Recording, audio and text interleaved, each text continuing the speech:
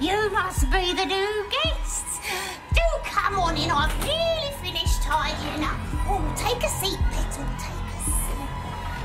Got a nice cup of tea. Go. Hey, not very good weather, is it, at the moment?